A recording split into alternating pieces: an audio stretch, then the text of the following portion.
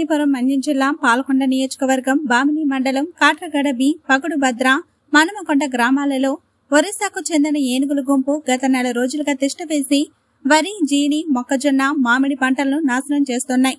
ఈ విషయమై ఫారెస్ట్ అధికారులు మరియు ప్రభుత్వ అధికారులు వెంటనే స్పందించి ఏనుగుల గుంపుని తరలించడానికి చర్యలు తీసుకోవాలని కాట్రగడ బి పగుడు భద్ర మనమకొండ గ్రామ రైతులు ప్రజలు కోరుకుంటున్నారు. ఏనుగుల వలన జరిగిన పంట నష్టంకు ప్రభుత్వం ఆర్థిక సాయం అందించాలని కాట్రగడ బి పగుడు భద్ర మనమకొండ గ్రామ రైతులు ప్రజలు డిమాండ్ చేస్తున్నారు.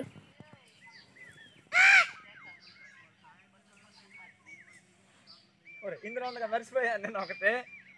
సరబా ఇందులో ఒకటి ఉందరా? ఎక్కడ? ఇల్లు ఉందరా అందులో ఉంది.